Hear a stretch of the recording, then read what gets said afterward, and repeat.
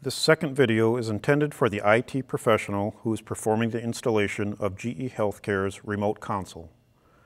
As we stated in the first video, Remote Console allows customers to remotely connect to GE imaging devices for guidance and training purposes using VNC connections. The remote user will connect to the imaging devices through a web browser. Once connected, they're able to view the console or even control the mouse and keyboard.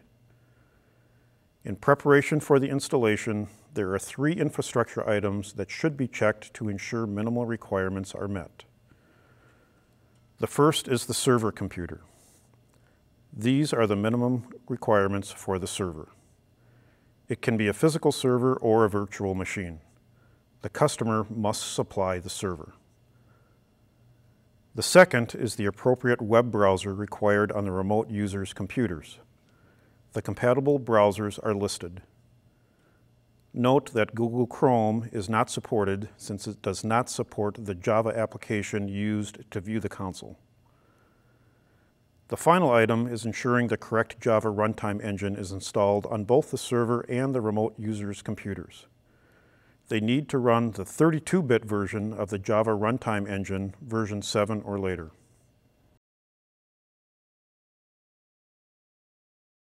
In addition to these items, your network must support at least 100 megabits per second throughput and support HTTP connections through port 8080. Now we will walk through the installation of the remote console server software.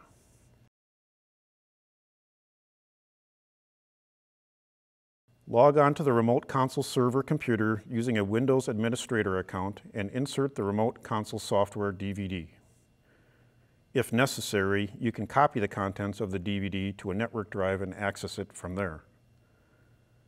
Install the remote console software following the on-screen instructions. If you receive a message saying that the server could not find a Java virtual machine to load, you need to install Java on the remote console server computer.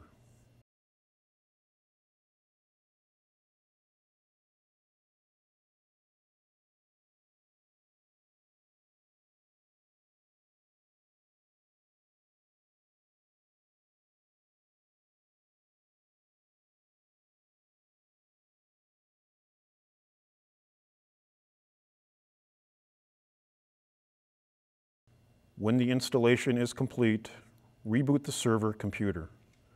The reboot is required to start the necessary services. Next, we will check that the remote console server is working properly. From the remote console server, go to the URL shown on your screen. Note that CRC must be in uppercase.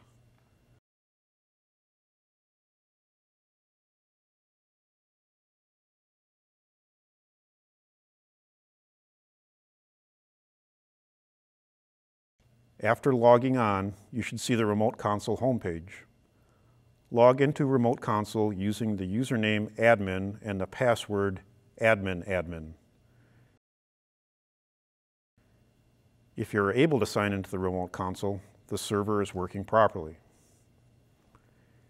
If you are unable to log onto the Remote Console server, try the following. Restart the server computer. This will make sure that any program files changed during the server installation are available to run. Reinstall the remote console server as an administrator, not just running under a Windows administrator account. In Windows Explorer, right-click the installation program and then click Run as Administrator.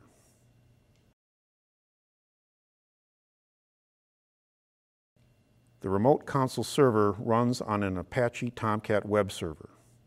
Make sure the Apache Tomcat service, called CRC service in Windows Services, is running. If the service is not running, you'll need to start it. If the service fails to start, contact GE Customer Education at the number shown.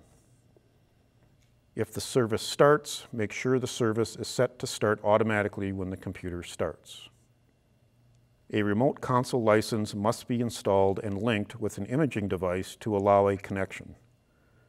To obtain your licenses that were purchased, you need to either call or email GE Customer Education. You will also need to provide the 16-digit hardware encryption key from the remote console server. To get the hardware encryption key, log on to Remote Console as an admin user. Click on Licensing and then click License Management.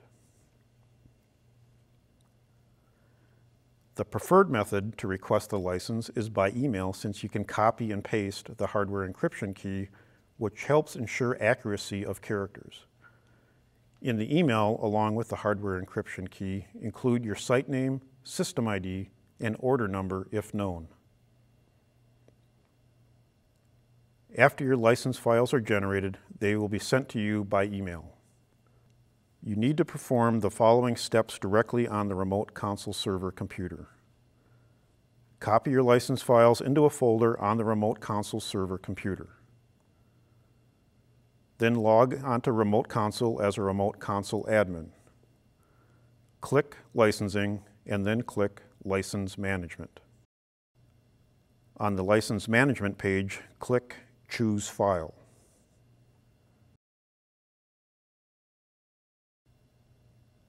Select your license files and then click OK. Click Install License Files. Once the license files are installed, licenses can be associated with the entitled GE imaging devices. This step is part of the one-time setup done by the remote console administrator that we will cover in the third video.